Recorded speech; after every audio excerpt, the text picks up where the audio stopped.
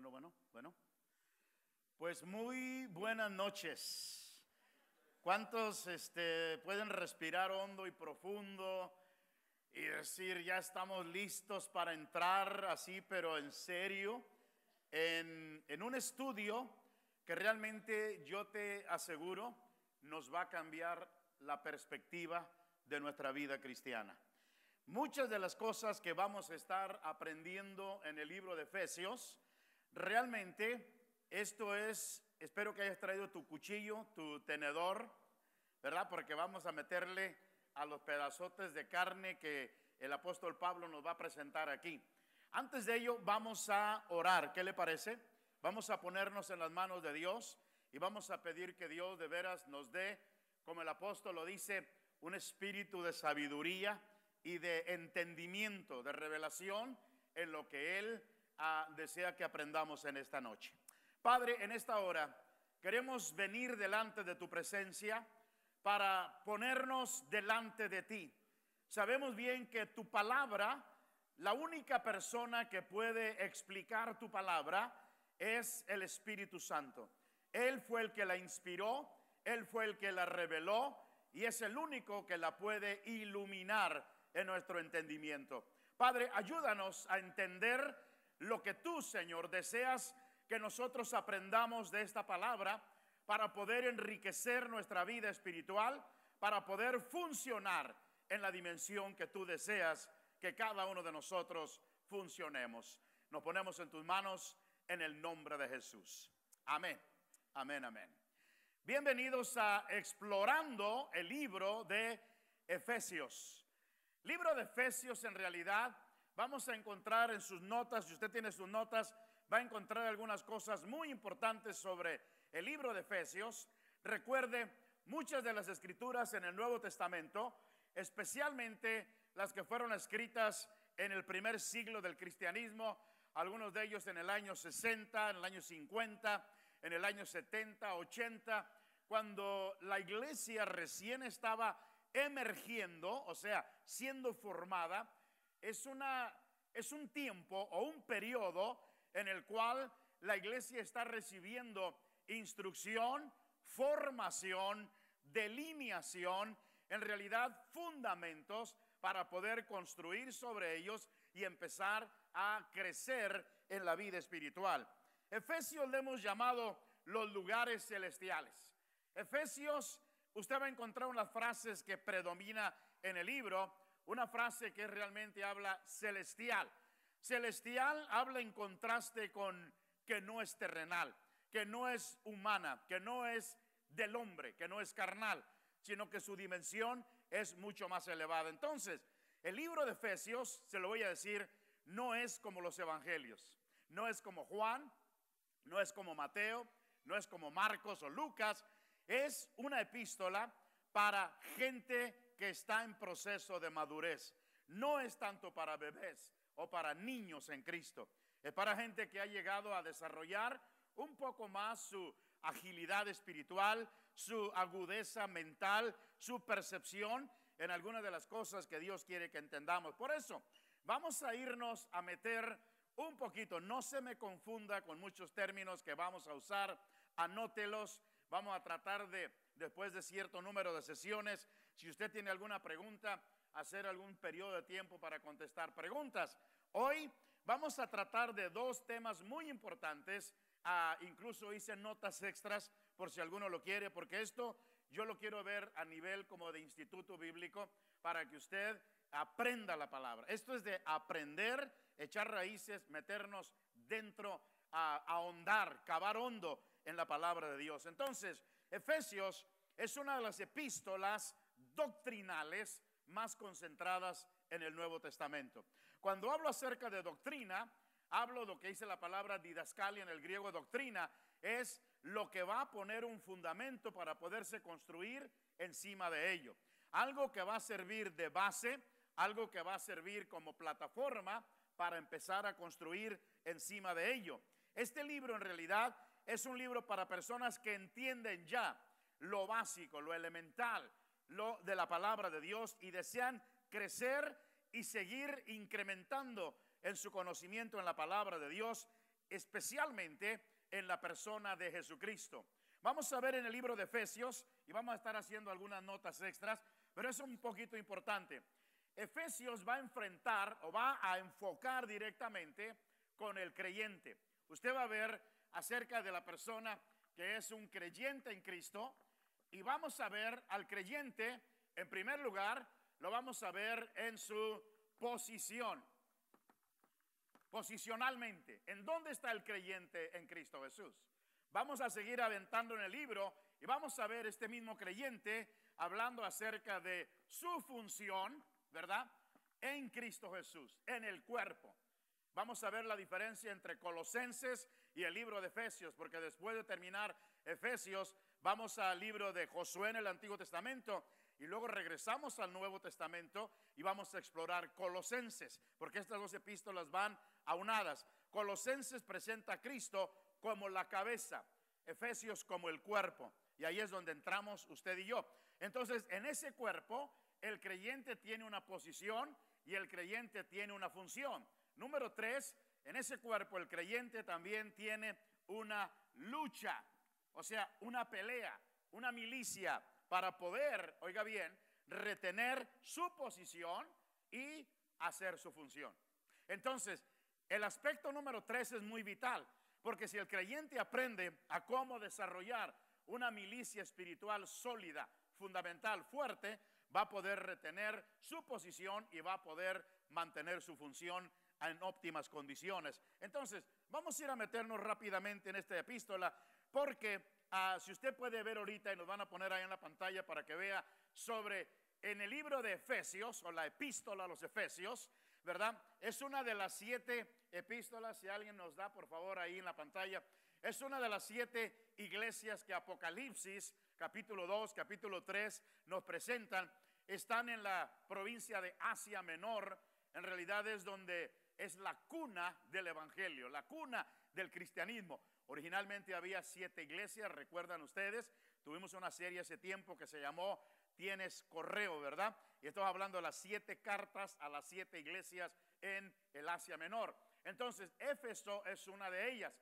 Incluso, le voy a decir algo, el libro de Efesios originalmente ha habido una controversia, la mayoría de los eruditos bíblicos, gente que le gusta estudiar la palabra, no se ponen de acuerdo si fue escrita directamente a los Efesios o fue escrita a la epístola a la Odisea, a la iglesia de la Odisea. Algunos de ellos se van inclinados a la Odisea, otros a Éfeso. Pero en fin, no es una epístola más personal, es una epístola muy generalizada que va a la iglesia en general, o sea, al creyente en general. Es muy importante mantener algunas de estas notas en nuestra mente para que podamos entender. Entonces, lo hermoso es que no solamente el apóstol toma la palabra de Dios, la presenta en una manera profunda, sino también nos dice cómo es que funciona la palabra en nuestras vidas. ¿Ha oído la palabra relevante alguna vez? ¿Qué es hacer algo relevante? Hacerlo funcional en nuestra vida, hacerlo operativo, que trabaje en nuestra vida. Entonces nos enseña cómo ser un mejor creyente, cómo ser un mejor jefe, cómo ser un mejor trabajador, un mejor discípulo de Jesús, un mejor esposo, un mejor padre, un mejor compañero de milicia, un mejor guerrero espiritual. Entonces, todo esto viene dentro de la epístola a los Efesios. Los cristianos, yo lo creo y el apóstol lo dice, deberíamos de ser las personas más exitosas en todo el mundo. ¿Está de acuerdo? Porque tenemos todo para hacerlo. Todo absolutamente está en la palabra de Dios, en todo lo que hacen, en todo lo que piensan, en todo lo que proyectan, porque tienen mucho más de lo que este mundo puede ofrecerles. En otras palabras, su posición están en los lugares celestiales, donde está toda la revelación, toda la iluminación, todo lo de Dios para traerlo a su mundo donde ellos funcionan y donde ellos se desarrollan. Ahora, el autor del libro, obviamente, es Pablo, en un momento vamos a, describir su nombre. Su ministerio en Éfeso es narrado en Hechos capítulo 18, versos 18 al 21, etcétera, etcétera. La fecha aproximada del libro, cuando dicen que se escribió los años 60 al 63 después de Cristo. Esta es una de las epístolas, la primera que se escribe en la prisión. Se les llama epístolas carcelarias. En otras palabras, esta va junto con las epístolas de Colosenses, Filipenses y Filemón. Son en realidad epístolas que fueron escritas en el periodo de encarcelamiento del apóstol Pablo. ¿A quién fue escrita? Lo acabamos de decir, no queda muy establecida. Hay varios rasgos, se le dice, lo puse en sus notas, a los santos y fieles que están en Éfeso, ¿sí? Y muchos dicen entonces fue a la iglesia de Éfeso, pero sin embargo, esta frase no se encuentra en los manuscritos originales. Eso es lo que los teólogos dicen, wow, si no está, está en su Biblia, en la Reina Valera, pero no está en el original. Entonces, eso los que tradujeron la Biblia del griego al español, la intercalaron, porque simplemente, bueno, fue la primera epístola, la iglesia más fuerte, la iglesia con doctrina apostólica más fuerte, entonces ponen que fue escrita a Éfeso, pero no hay una base escritural que lo sustente. Entonces es muy importante entender, lo importante es, porque en los manuscritos más antiguos del Nuevo Testamento no se encuentra esa frase a los santos en Éfeso. Sin embargo, la instrucción es a los santos en la iglesia, punto. ¿Ok? Sea Éfeso, sea la Odisea, sea Esmirna, sea Filadelfia o lo que sea, es a los santos, punto. La carta es la más impersonal de las cartas de Pablo. A veces Pablo escribe a Onésimo, a Filemón, etcétera, etcétera, pero aquí no hay ninguna connotación personal. No hay saludos personales ni mensajes. Y esto es raro, porque Pablo vivió tres años en Éfeso. Entonces imagínense estar tres años en una ciudad, en una iglesia, y no escribir, decir, ah, me saludan mucho al hermano fulano de tal, por nombres. Yo creo que los ha de haber conocido bien, pero a ninguno de ellos los saluda por nombre. Entonces es importante entender el concepto.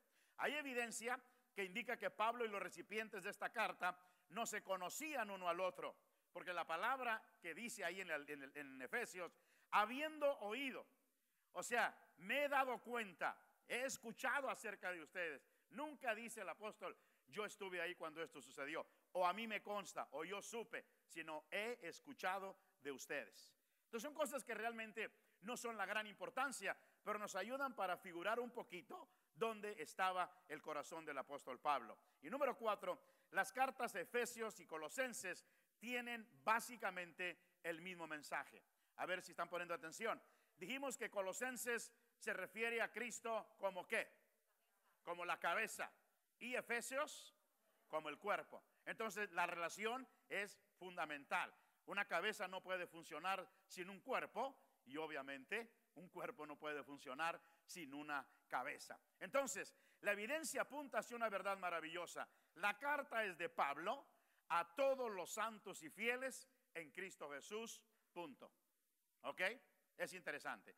Él escribe a los santos en todas partes, en todas las generaciones. Está escrito a las creyentes, a la iglesia de aquel tiempo, a la iglesia de hoy y a la iglesia que esté lista para el retorno de Jesucristo también. Entonces, no fue dirigido a un grupo específico de personas, sino que inició con un grupo de personas. Ahí fue su origen. Pudo haber iniciado en la iglesia de Éfeso, después de haber sido dispersado a las demás iglesias. Es muy probable todo ello. El libro está dirigido a todo el cuerpo de Cristo. Y ahí es donde obtenemos el tema del libro, porque el tema del libro es la iglesia. Y la iglesia está compuesta de qué?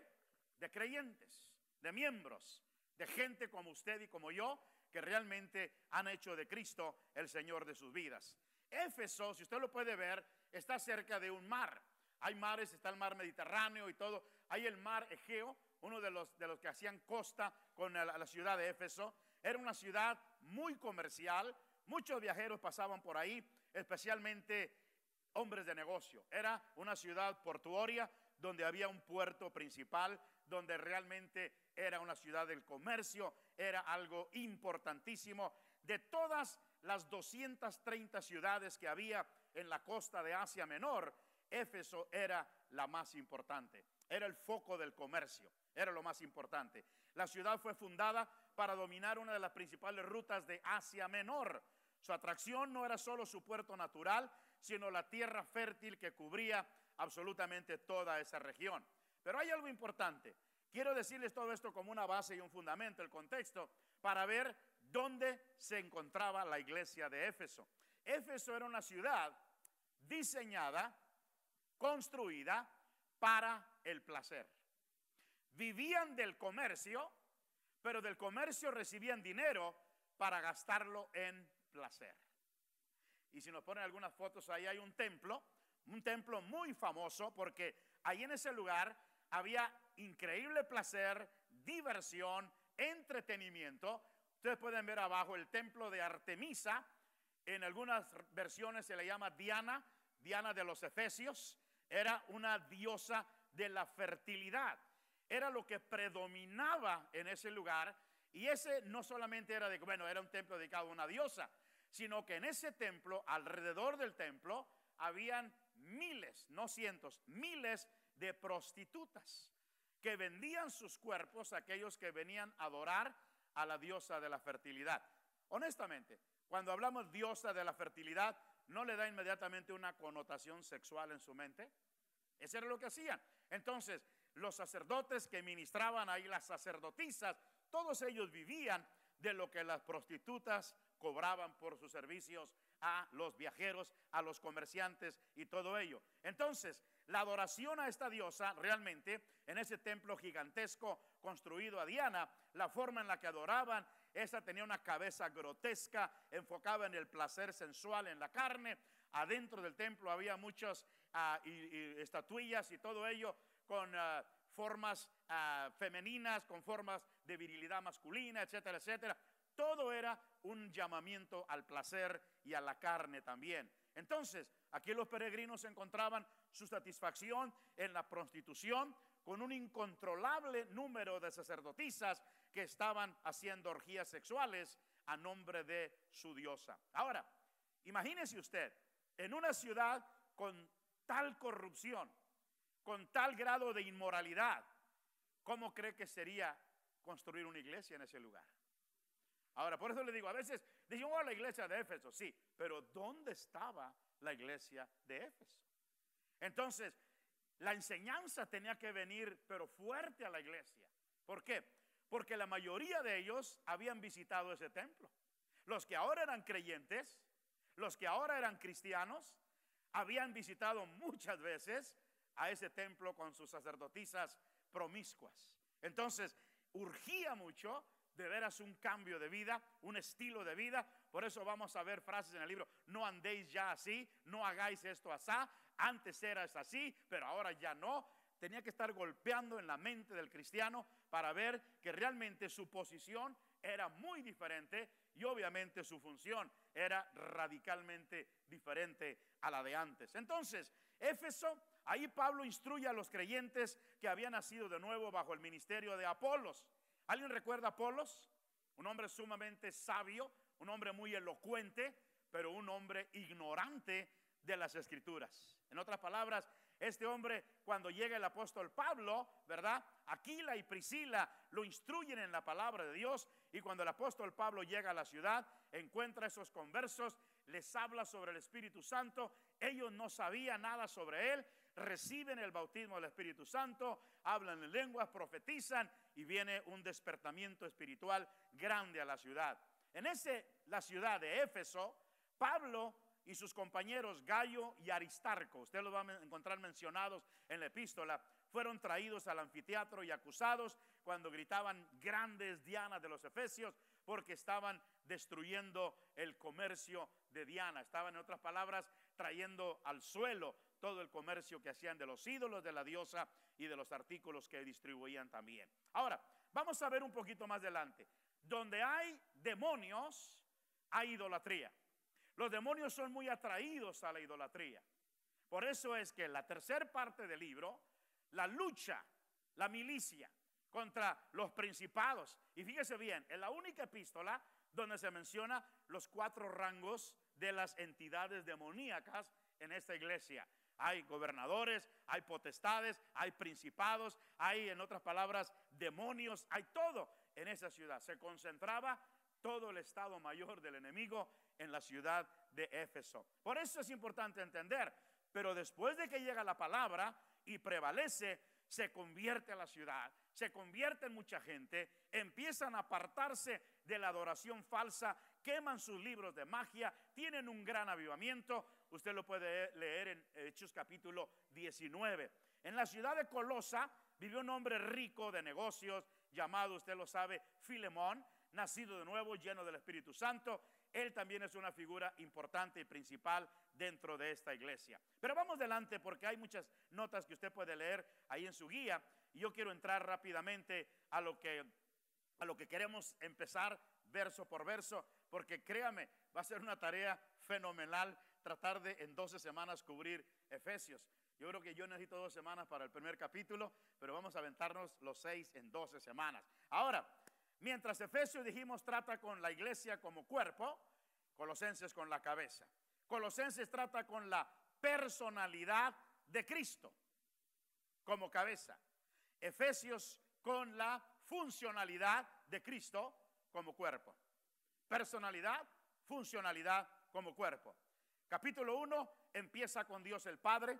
En otras palabras, la revelación viene de Dios, el Padre, quien diseña el plan de salvación. Capítulo 2 nos muestra a Cristo, el ejecutor del plan de salvación. Dios el Padre lo diseña, Jesucristo el Hijo lo ejecuta. Capítulo 3, el Espíritu Santo es el revelador y diríamos el aplicador de ese plan de salvación a la humanidad. Capítulo 4, el plan es dado a la iglesia a través de los dones del ministerio, que son los apóstoles, los profetas, los evangelistas, pastores y maestros, y de ahí llega el cuerpo de Cristo a toda la iglesia. Capítulo 5, la palabra de Dios va a causar que seas lleno del Espíritu Santo, seas edificado, crezcas a la madurez en el cuerpo de Cristo. Y número 6, el capítulo, el Evangelio es llevado al resto del mundo a través de una confrontación con los principados y venciendo en la guerra espiritual.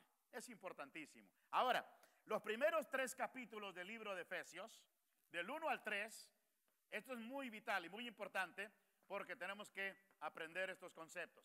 Los primeros tres capítulos de Efesios hablan sobre verdad posicional. Es muy importante entender dónde estamos en Cristo Jesús. Verdad posicional.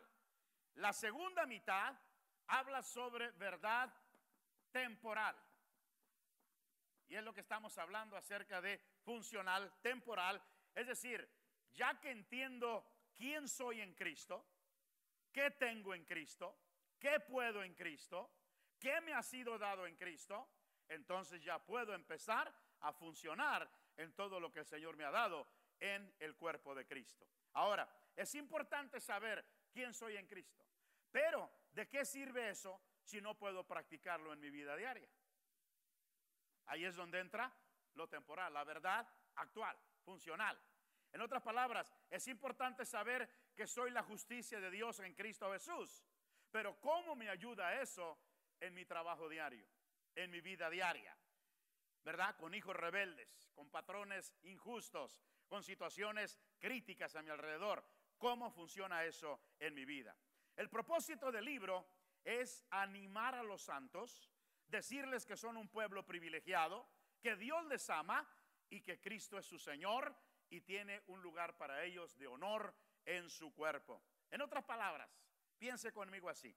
Efesios presenta al hombre, al creyente, al cristiano, como un hombre celestial, como una persona celestial, mentalidad celestial, proyección celestial, ámbito o atmósfera celestial, pero que vive temporalmente en esta tierra, que es un peregrino y mientras va de paso, va estableciendo la cultura celestial donde quiera que va. Amén. Es un hombre celestial que va pasando por esta tierra, dejando huella, dejando un rastro de los celestiales. Es bien importante. La mayoría de estos libros en el Nuevo Testamento, sobre todo epístolas paulinas, se dedican a corregir a problemas que se suscitaban en la iglesia, pero Efesios en realidad no trata con ningún problema en particular en la iglesia, sino el asunto de Pablo es crece en el conocimiento de Cristo. Funciona en la posición en la que Cristo te ha establecido. En otras palabras, los santos estaban aprendiendo a crecer en la gracia de Dios y Dios continuaba dándoles revelación sobre revelación. Entonces, vamos a entrar, ya está listo para entrar al verso 1. Todo esto y algunas cosas más lo puede leer ahí, pero vamos a entrar al verso número 1. Pablo, apóstol de Jesucristo. Wow, eso nos va a golpear duro, le aseguro. Pablo viene de una palabra que quiere decir, es latina la palabra, no es básicamente griega en cierta manera, porque la influencia romana estaba muy fuerte. ¿Se acuerda que Pablo era ciudadano romano también? Entonces él recibe un nombre latino. Había costumbre de que gente tenía dos nombres, un nombre judío, un nombre romano, por la cultura en la que ellos vivían, o un nombre judío y un nombre griego, dependiendo de la cultura donde ellos más se relacionaran. El nombre de Pablo quiere decir pequeño. Muchos padres judíos le daban a sus hijos esos nombres. En adición de un nombre gentil, fuera latín, fuera romano, fuera griego, un nombre judío también. Entonces, en Corintios 10:10, 10, primera de Corintios, se piensa que Pablo era de pequeña estatura porque se le llamaba pequeño. Su nombre hebreo era Saulo o Saúl, que viene de la palabra hebrea Saúl, que significa pedir u orar. Alguien que vino por una petición, por un pedido a Dios. Ahora, él se identifica como apóstol. Y quiero hacer una aclaración y una connotación. La Biblia enseña el ministerio apostólico. Claro que sí, porque Dios constituyó apóstoles. Solamente que apóstoles en realidad tienen ciertas características.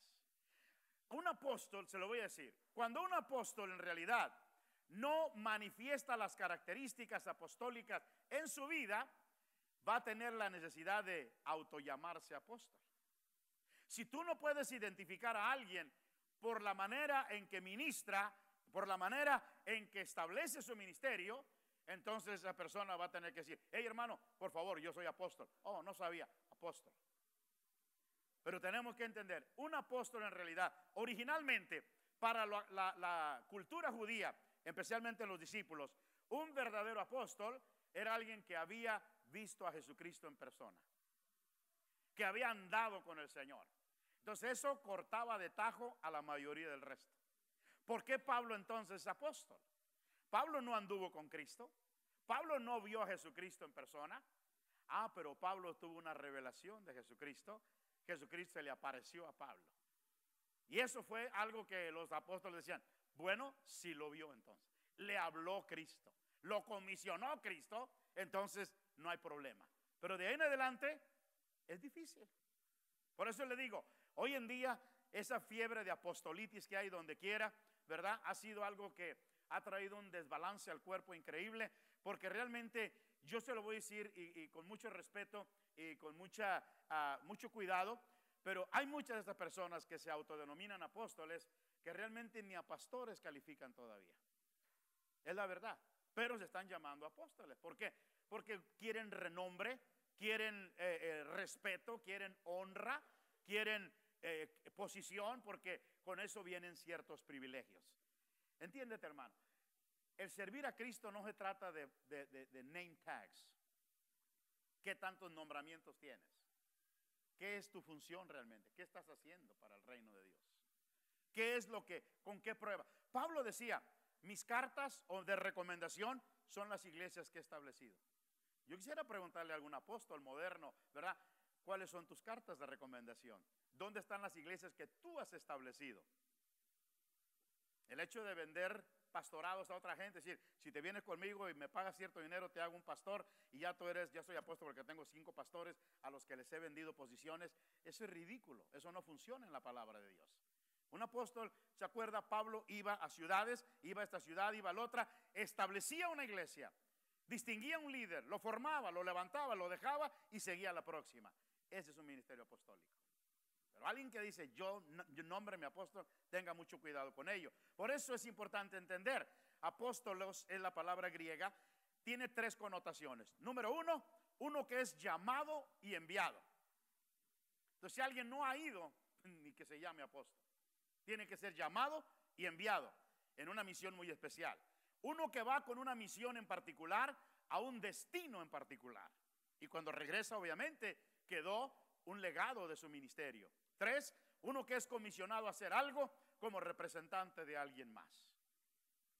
Entendamos este concepto. Apóstoles no son ordenados por los hombres, son llamados por Dios. En el libro de Hechos capítulo 13 usted lo puede ver, mientras la iglesia ministraba al Señor, oraban, ayunaban, dice la Biblia, el Espíritu Santo dijo a la iglesia, apártenme a Saulo y a Bernabé para la obra que yo les he llamado. La iglesia no llama a los apóstoles, es el Espíritu Santo el que los comisiona.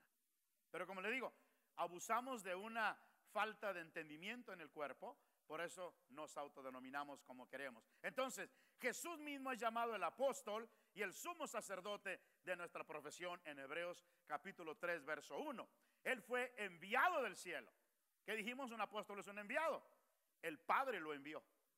Vino en una misión especial.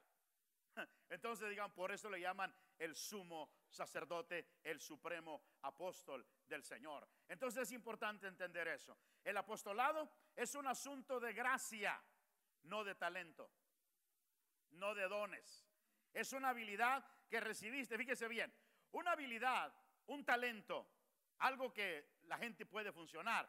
Es una habilidad que tú recibes para tocar algún instrumento, para cantar o para hacer cualquier gracia. Pero el apostolado es un escogimiento o decisión de Dios por parte del Señor Jesucristo y lo especifica a la iglesia. En otras palabras, la iglesia lo que hace reconoce el llamado de Dios sobre la persona.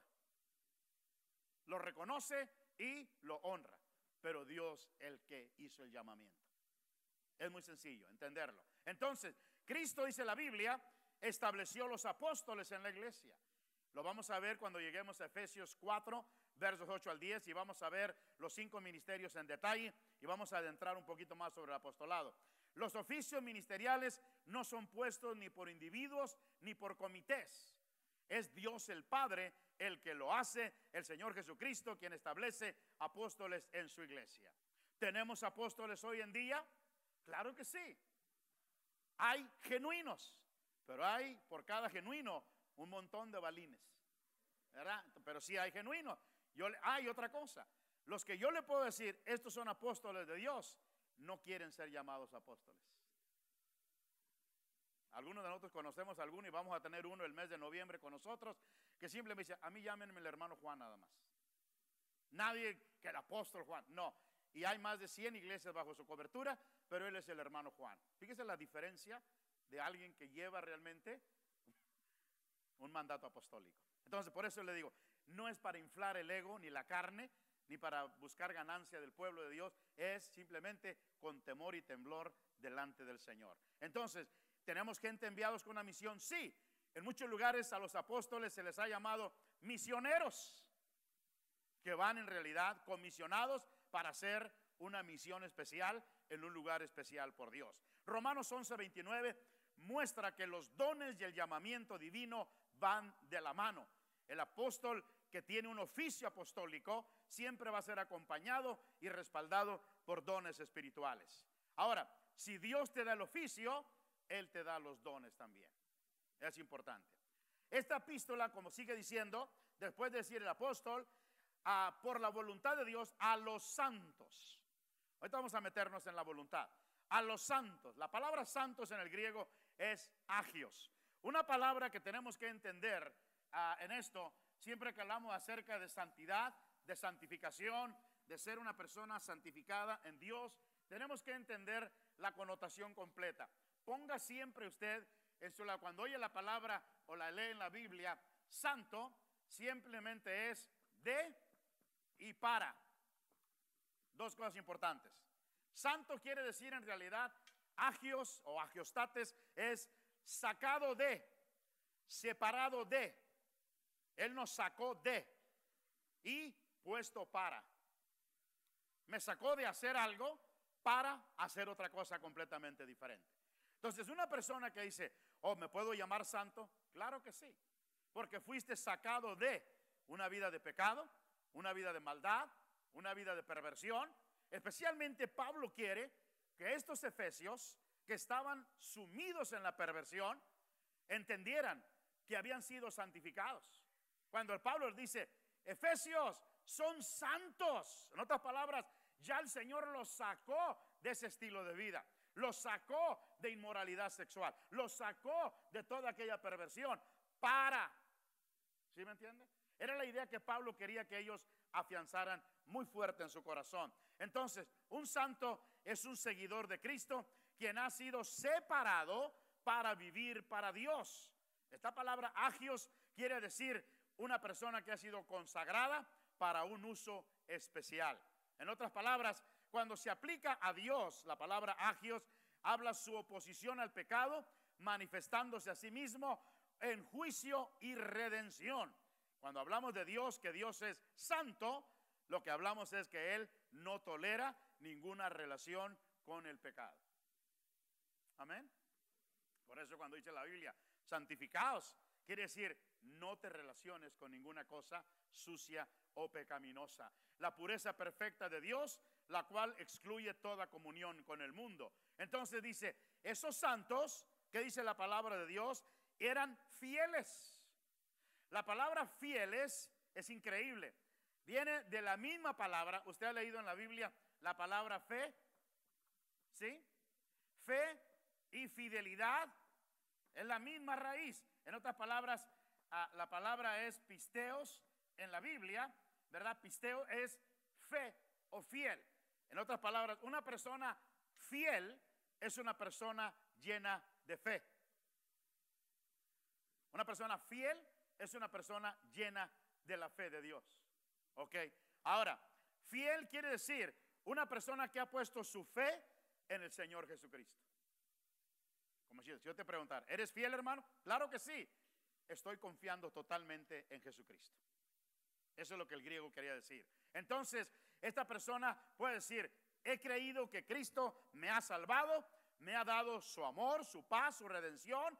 Ahora yo puedo vivir completamente para Dios. En otras palabras, es uno de los mayores rangos que uno puede tener en Cristo Jesús. A los fieles en Cristo Jesús. Por eso siempre lo va a ver. No fieles en ellos, no, yo soy fiel en mí. No, soy fiel en Cristo Jesús. O sea, mi fe no está en mí. Mi fe está en Cristo Jesús. Verso número dos. Gracia. Fíjese bien la palabra. Gracia y paz. Gracia tiene tres significados. Viene de una palabra que es caris. Ahí se lo puse caris. Caris en realidad habla de carisma.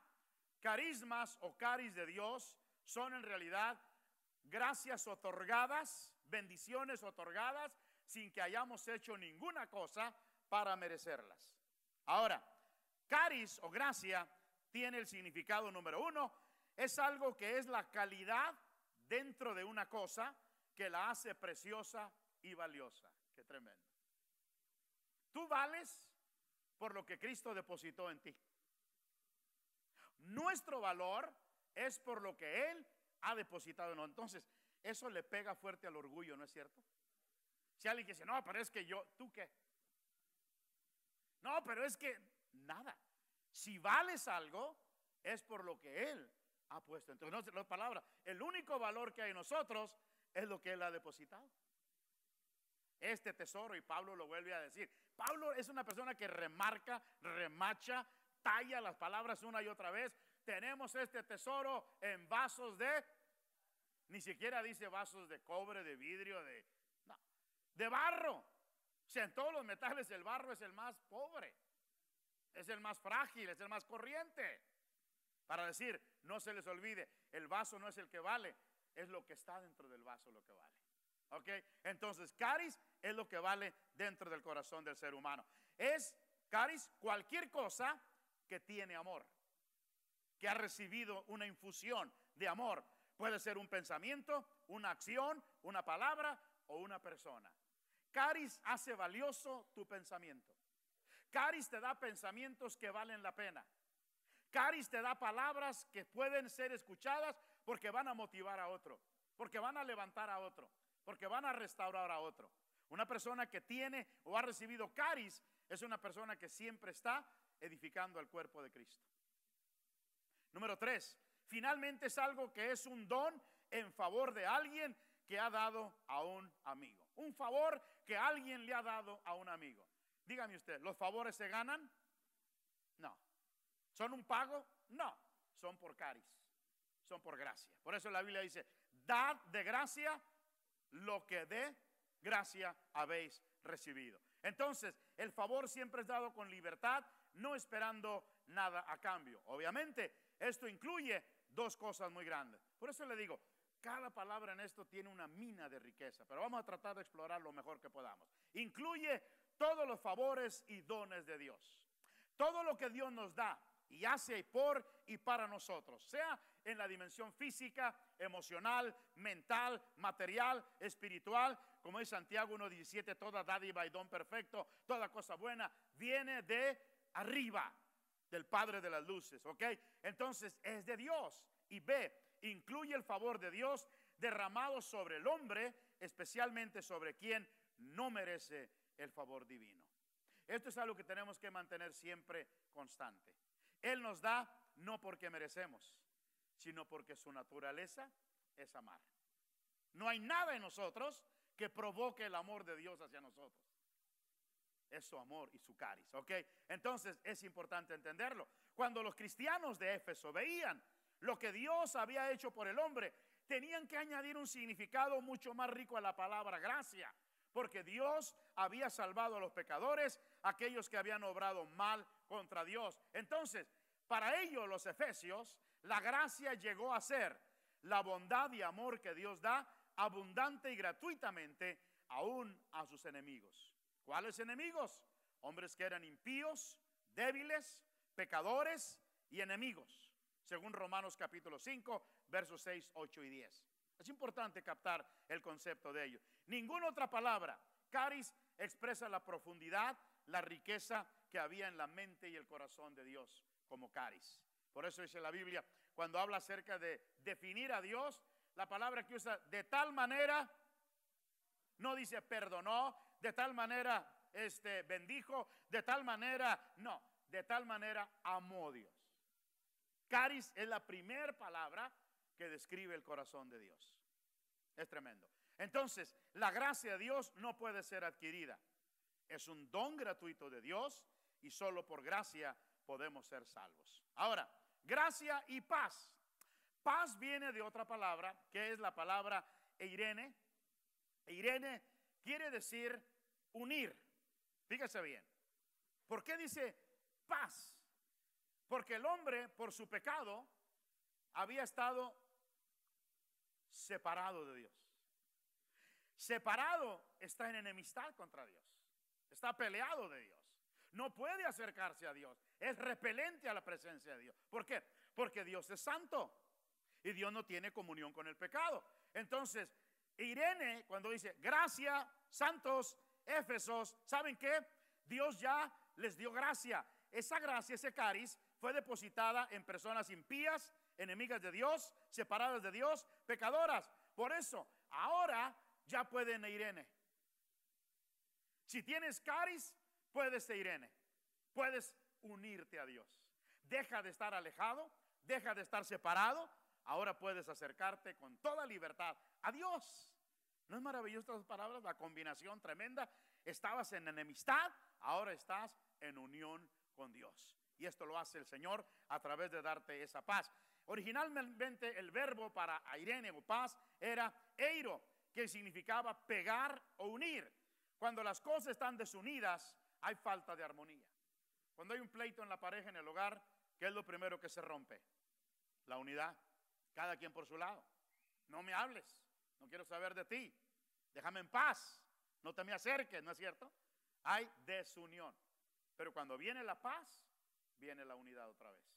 Es importante entender la palabra. Entonces, cuando viene la unidad, ambas cosas existen. La paz y la gracia sobreabundan. Entonces, paz se define en el Nuevo Testamento como un estado de bienestar, sin problemas ni disturbios, y se usa para denotar la ausencia de lo que es su contraste o su opuesto, que es pleito.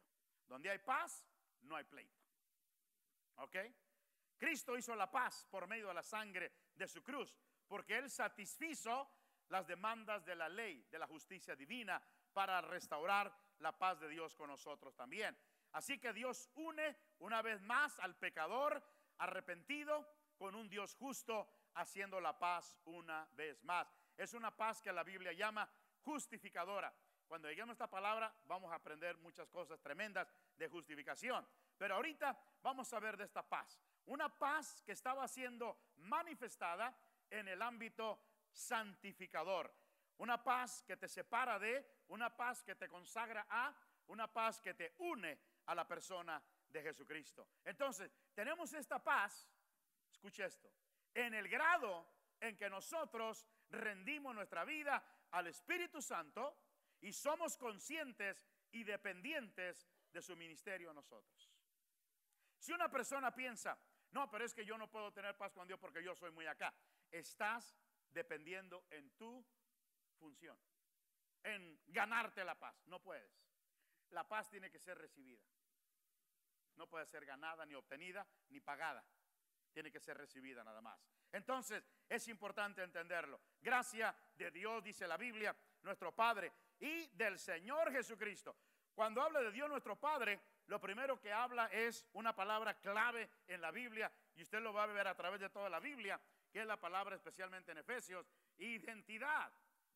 En otras palabras, te dice, ya tú no eres un huérfano espiritual.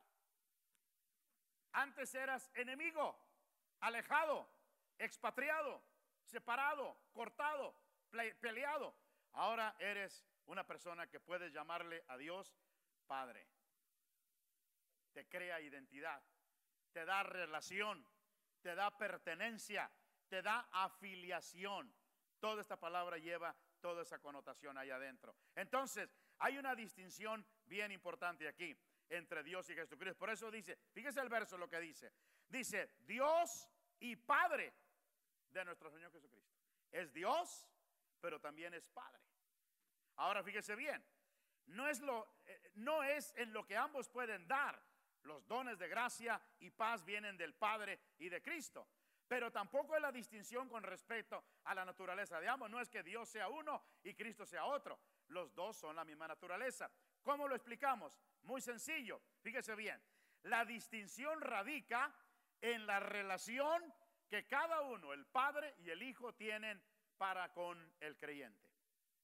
Dios es nuestro Padre, Jesucristo es nuestro Señor y Salvador. Ahora, escuche bien, Dios tiene relación de Padre, pero para estas mismas personas, los creyentes, Jesucristo tiene relación de Señor. Ahora, si Cristo es hijo de Dios,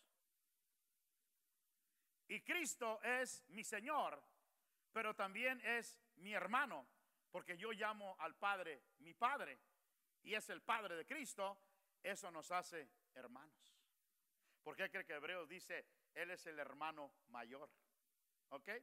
Fíjese lo que hace esto. Por eso cuando Pablo escribe a los de Efesios diciendo, imagínense la riqueza que hay en esto para ustedes. De ser pecadores, de ser impíos, de ser personas que estaban, como dice capítulo 2, cuando lleguemos, increíble, bajo la ira de Dios, ahora han sido hechos hijos de Dios, hermanos de Cristo. es increíble. La gracia siempre viene antes que la paz. Antes que puedas tener paz en tu vida, tienes que entender la gracia de Dios. Es muy importante. En el griego los versos 3 al 14 son una sola oración. Esto es una cosa importante en el griego. A veces no hay puntos ni comas, ni paréntesis, ni eh, eh, entre comillas, ni nada. Es una frase increíble que es una cláusula en realidad, hecha de varias oraciones sin puntuación. 3 al 14, una sola oración. Pero que es importante, está en tiempo pasado. En otras palabras, se trata de todo lo que Dios ya hizo para nosotros desde la fundación del mundo. Usted puede encontrarlo ahí en el verso número 3. Dice que nos bendijo y empieza todo al pasado. ¿Cuándo nos bendijo? Cuando vinimos a Cristo. No. Desde la fundación del mundo. Desde antes de la fundación del mundo. Porque Dios es eterno. Es algo que es muy difícil para nuestra mentalidad limitada, humana, pensar en un Dios eterno. Créamelo. Porque yo vivo en horas, minutos, días, meses, años. Dios es. Amén. Siempre ha sido, siempre será. Para Dios el pasado está aquí, el presente está aquí y el futuro está aquí. Para mí no. Trate de acordarse hace 50 años en su vida, hace 40 años, hace 30 años. Uh, trata de... Para Dios el pasado siempre está aquí.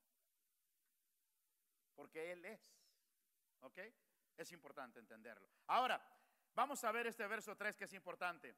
Donde dice la palabra bendito, hay dos palabras que el griego traduce para esta palabra, bendito. Una es Macarios, no sé si alguien se llama Macario aquí, pero Macarios a veces se le dice en, una, tono de burla a una persona, ¿no es cierto? ¿Qué pasó Macario, no? Pero Macarios es la palabra bendito. La palabra bendito o Macario en el significado bíblico es feliz, pero tiene una connotación de prosperidad. En otras palabras, Dios te ha dado lo suficiente y aún más que suficiente. Pero la otra palabra que se aplica en el verso es eulogetos, de elogiar. En otras palabras, se forma dos palabras griegas, lego, ¿verdad? Que es hablar, y eu, que es bueno. Entonces, lego es hablar y eu es bueno. Cuando las juntamos, quiere decir hablar bien de. Entonces, cuando tú bendices a una persona, hablas bien de ella. Cuando tú maldices a alguien, ¿qué hablas? Mal. Maldecir a alguien es hablar mal de él. Bendecirlo, hablar bien de esa persona. Entonces aquí lo que está diciendo, bendito sea el Dios. Entonces, hablamos bien de Dios. La primera palabra, en otra palabra, Macario, habla del carácter. La segunda habla de la reputación. Fíjese bien. Entonces, el objeto se usa exclusivamente de Dios en el Nuevo Testamento. Pero hay algo maravilloso. Es la palabra que Dios la usa para nosotros. ¿Cómo ve? Fíjese bien. No es tanto que el hombre use eulogetos para otra persona. La usa primariamente para Dios. Bendito sea el Dios y Padre. Bendito sea Jehová. Bendito sea su nombre. Usted lo va a encontrar en la Biblia. Hablar bien de Dios. Pero cuando Dios habla de ti, Él dice eulogetos. En otras palabras, yo también hablo bien de ti. Si la gente habla mal de ti, Dios habla bien de ti. Ah, ¿Qué te importa más? ¿Que la gente hable bien o que Dios hable bien? ¿Verdad? Es importante. Entonces, por eso dice la Biblia, fíjate bien lo que sigue. Bendito sea el Dios y Padre de nuestro Señor Jesucristo, que nos que nos eulogetos. Yo lo bendigo a Él, Él me bendice a mí. Dios habló bien de mí. No dijo, eres un miserable pecador, eres un gusano rastrero, eres una rata de dos patas. No, no, no. Eso lo dice otra gente. Pero Dios dice, no, yo eulogetos. En otras palabras, yo tengo muchas cosas buenas que hablar de ti. ¿Por qué? Por el cariz que he derramado sobre tu vida por el airene que te he puesto dentro de ti, porque te he unido a mí otra vez. Entonces, el hablar Dios mal de ti es hablar mal de Él mismo, porque lo que hay en ti es lo que Él ha depositado. Es importantísimo. Por eso cuando una persona como cristiano aceptó a Cristo y sigue diciendo, no hermano, pues yo solamente soy un, soy un miserable pecador, eso no es el objeto. Es decir, Dios no hizo nada conmigo. Un mentiroso. Dijo que me salvó, dijo que me dio su espíritu, pero es mentira. Yo sigo siendo el miserable pecador de siempre. Entonces Dios está diciendo el objetos y tú estás diciendo otra cosa. Es tiempo de hablar como Dios habla de nosotros también. Es importante. Entonces, por lo tanto, bendecir al Señor es hablar bien de Dios o elogiarlo. Nos bendijo se refiere específicamente al hecho de la acción. Cuando Él nos bendice, no solamente habla bien de nosotros, sino nos hace bien. Fíjese lo que dice el verso. Dice, Él nos bendijo con toda bendición espiritual. Qué tremendo. Eulogetos nos bendijo, pero luego con toda bendición, fíjese bien la palabra que usa ahí, Macarios, con toda prosperidad, con toda abundancia, con toda dádiva, con toda cosa buena en otras palabras, nos hace bien. Nuestra bendición hacia Él es en palabra. La bendición de Él a nosotros es en obra. Un poquito diferente. Cuando nosotros le bendecimos, le bendecimos en palabra. Y muchos no somos buenos para eso, es muy barato, ¿verdad? Dios te alaba, eres bueno, maravilloso, gloria a Dios. Pero Dios nos bendice con obra, con prosperidad, con suplir nuestra necesidad.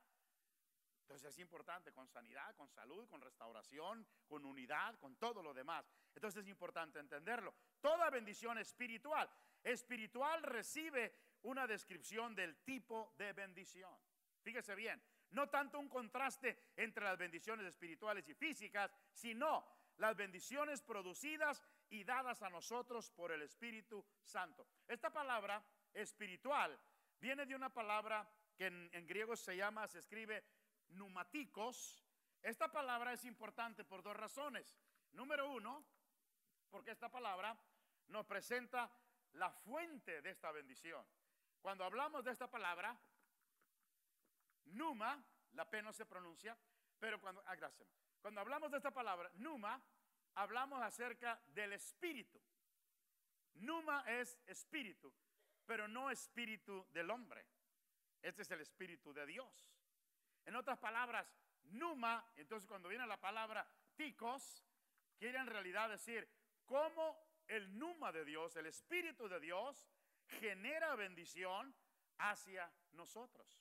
Entender ese concepto en realidad implica descubrir, discernir la obra del Espíritu Santo en nosotros. En otras palabras, es importante tomar la palabra numáticos para definir las bendiciones como espirituales.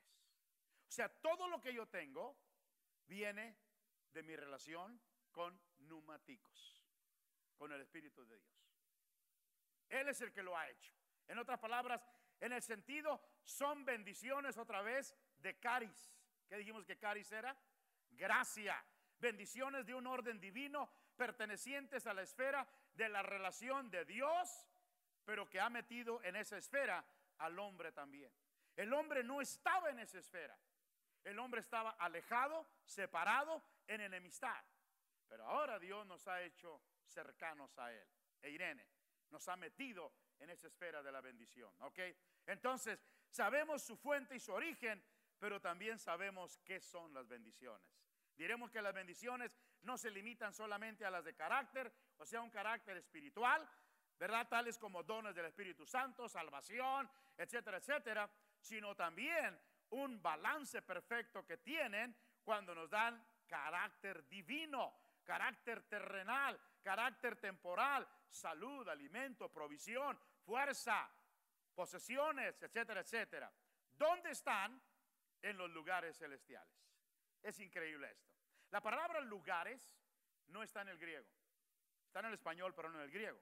La palabra en el griego simplemente lo que está diciendo es en los celestiales. Esto habla de algo muy importante. Existiendo en la morada de Dios.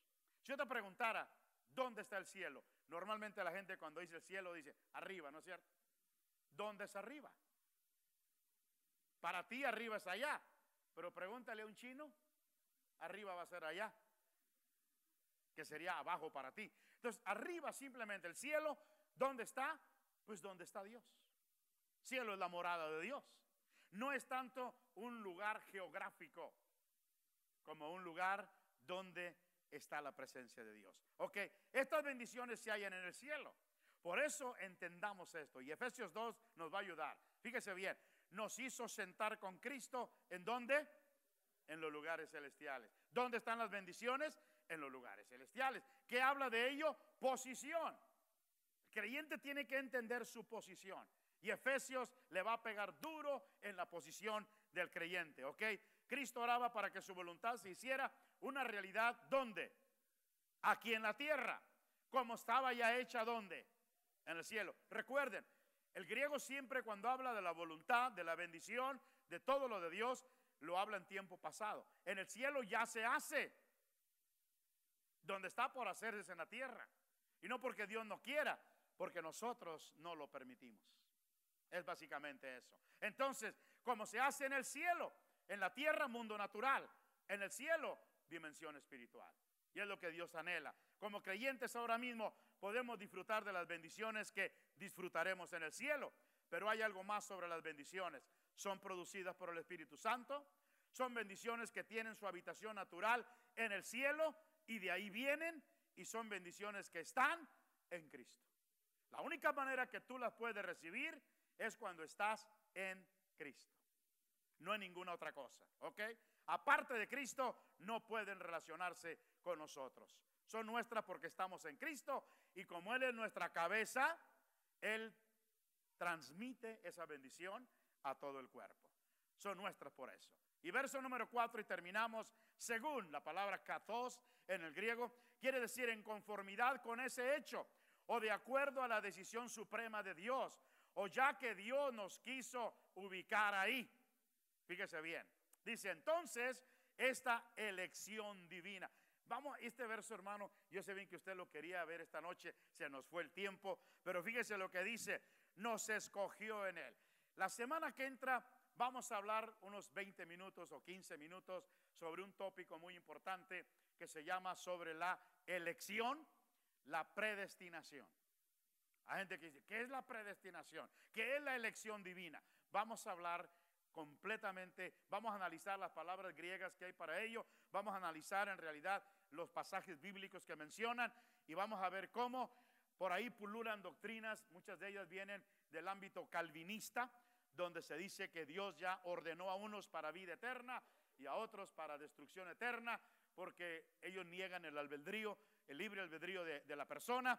Pero vamos a probar con la Biblia y con el idioma original, sobre todo en el griego, cómo esta doctrina está totalmente errónea, no va en, en con la palabra de Dios, sino que vamos a verlo. Mientras esta semana, yo, yo tengo algunas copias nada más, no tengo muchas, yo sé bien que algunas personas ah, no tienen acceso al internet o lo que sea, traje solamente 20 copias que se llaman, este, aquí los voy a dejar hermano para que los que necesiten las tomen porque si no ahorita las agarran luego, luego. Mire, si usted tiene acceso al internet, las vamos a meter en nuestra página donde vaya sobre el libro de Efesios, donde va a estar ahí este, ya la, la, nota sobre Efesios. Este, haga un download, métalo a su, algunos me fijo que son muy técnicos, ya traen todos, incluso las guías ahí en su iPad, métalo ahí hermano, ¿verdad? Pero si alguien necesita, que dice, pastor, yo no puedo, yo no tengo acceso a, a la internet, llévese una copia en papel para que usted la pueda leer, léala bien, porque la semana que entra vamos a pegarle duro al asunto de la predestinación. Vamos a ver, no voy a meterme en arminismo y calvinismo y todo ello, porque perderíamos otras dos sesiones ahí. Pero le voy a decir rápidamente lo que dice la palabra de Dios sobre ello. Entonces, nos escogió es muy importante. Lea sus notas, algunos apenas recibieron su, su libro de notas. Léalo, por favor, termine el primer capítulo. La semana que entra, con la ayuda de Dios, vamos a terminar el capítulo 1 del libro de Efesios. ¿Qué le parece? Amén. Dios me le bendiga mucho en esta noche y descanse su cerebro un ratito porque sigue un buen periodo de oración.